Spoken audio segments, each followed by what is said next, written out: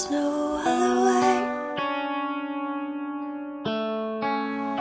Bueno, eh, están de moda, cada día más gente se anima a tener el primer contacto con la verticalidad. Ya habéis visto algunos de nuestros vídeos relacionados con el mundo de las vías ferratas, en concreto cuál es el material necesario para las vías ferratas, pero hoy vamos a hablar de uno de los elementos, diríamos, trascendentales a la hora de hacer vías ferratas. ¿Y qué es? Ya lo sabéis, son los disipadores para vía ferrata. ¿Qué es un disipador para vía ferrata? Pues eso, su nombre lo indica, disipa la posibilidad de si tienes una caída, absorber esa energía que se desarrolla en la caída. ¿Y de qué manera?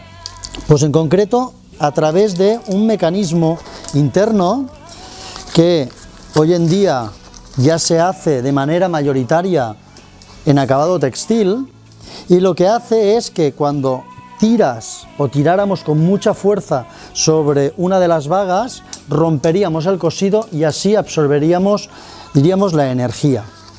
Pero hay cuestiones que hay que tener muy en cuenta. Por ejemplo, si yo me he caído una vez, ¿puedo reutilizar mi disipador? Pues no, chicos, lo siento mucho.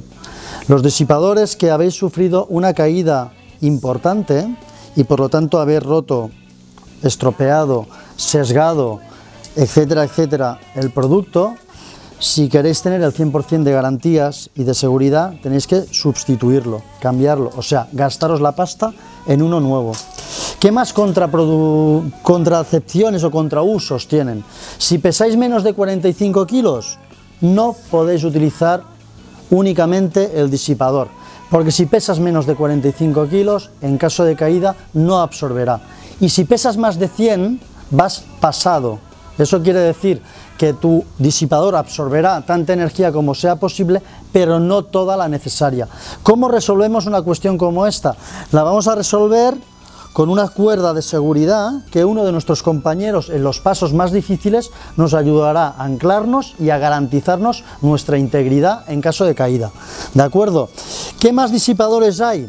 Ya os he dicho que de madera mayoritaria cada vez más los hay con acabados textiles, pero que quedan muchos disipadores en el mercado aún que son de tipo mecánico. Bueno, pues estos siguen teniendo las mismas, digamos, contracepciones o diríamos problemas que los hermanos mayores. Si esto te caes, no lo puedes reutilizar. Puerta, se tiene que tirar, ¿de acuerdo?